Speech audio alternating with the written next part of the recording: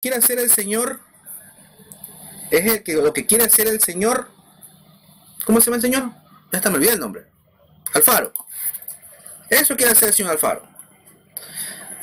Quiere hacer esto. Voy a, voy a arreglarlo bonito para que se vea.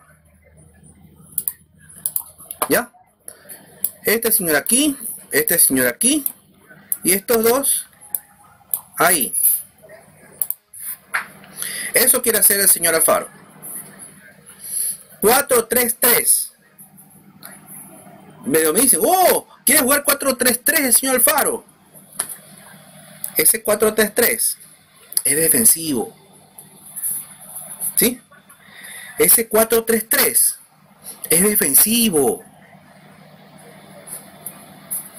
¿Por qué es defensivo? Veo a Méndez, veo a Grueso y veo a Franco.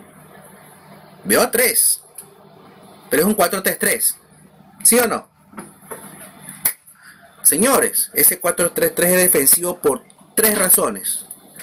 Méndez es volante de contención. Grueso, volante de contención. Franco, volante de contención.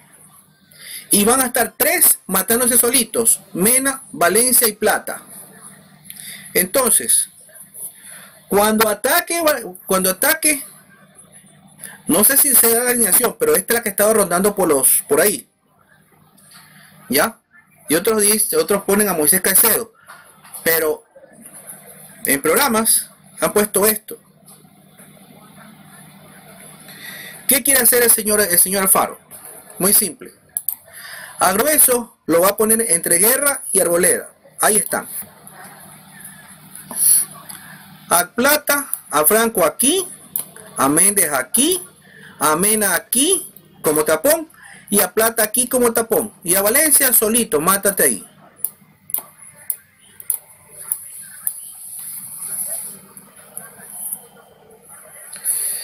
Y correcto, correcto. Aquí cambiamos el nombre. A Ferigra. Ferigra, Ferigra.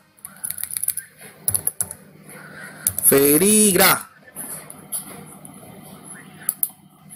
Si ¿Sí saben el mensaje que está mandando que está mandando al mundo el señor Alfaro?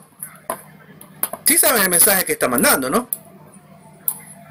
Méndez aquí, Méndez aquí.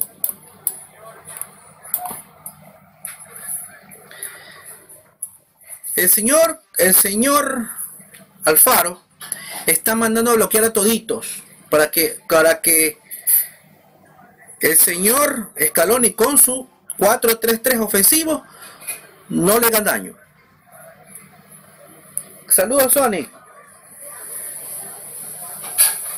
Así es. Qué bueno. ¿Cuántos hay en este momento Sony viendo? ¿Cuántos hay? Porque habían 35. Ahora ¿cuántos más habrán? 40. Llegamos a 40.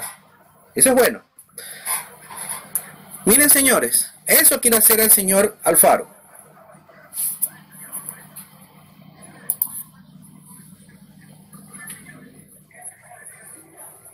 Triste, ¿no?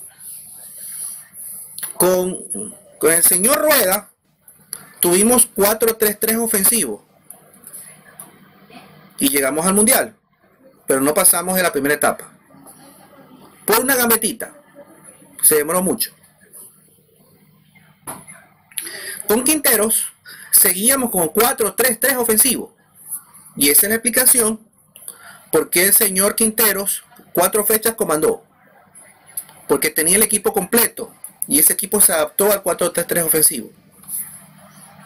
Pero después, por lesiones, suspensiones y demás, y unos que perdían ritmo, esa selección se perdió y ya sabemos la historia que nos pasó, que terminaron disolviendo todo.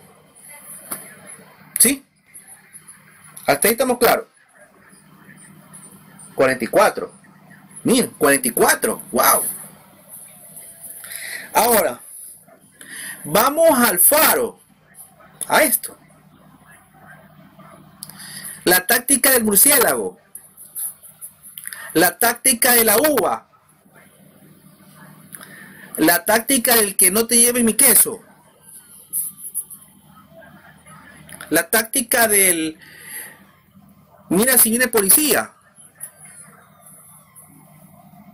Eso está aplicando el señor Alfaro. La táctica del, murciélago, de la uva, no te lleves mi queso, policías jugando ladrones.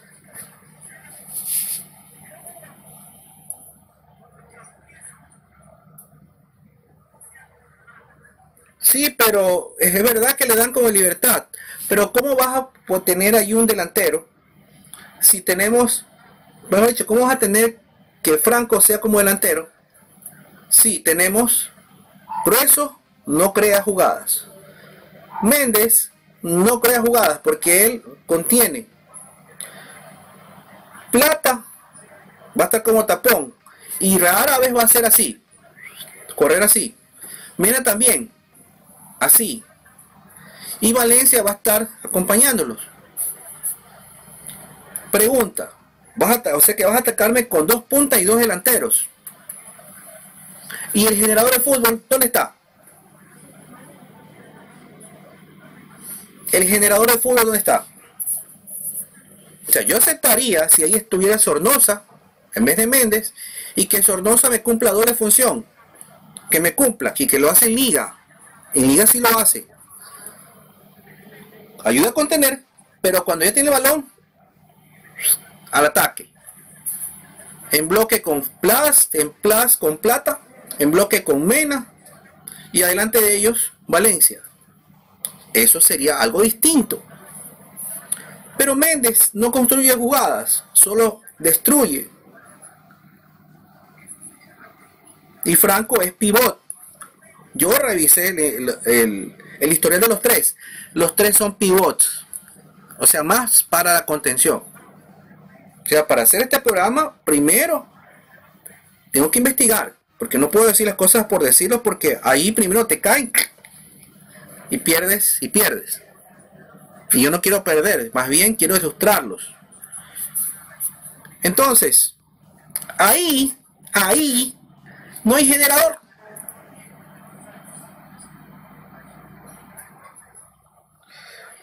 Para mí que Alfaro va a poner la mayoría de jugadores de liga. Ellos están acostumbrados a defenderse. Y en la media creo que le va a poner a Sornosa y Grueso. No, no lo va a poner. Ah, solamente lo va a poner a Grueso porque me cumple la función. Pero a Sornosa no lo va a poner. ¿Quieren que les diga por qué se fue el señor Alfaro de Boca? ¿Por qué no le renovaron? Por esto. Porque defendía con todo y luego el contraataque para ver qué pasaba. Y le salió en muchos partidos pero no le puedo ganar al River en la famosa, en el famoso, en la famosa final. No le pudo.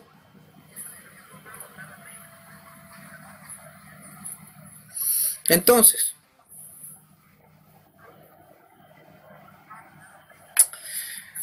River tenía más fútbol y el señor Alfaro a cuidarse.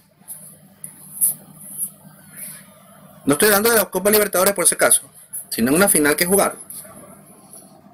Y siempre jugaba con antifútbol. En algunas veces empató. En algunas veces ganó. Ahí estamos hablando mejor. Para que esté mejor. Pero en algunas veces perdió. Y con, con Minero, que era un equipo fuerte, así con esta alineación, tres goles se mandó. O sea, tres goles le hicieron. Pero con esta alineación fue a Quito, le ganó la liga.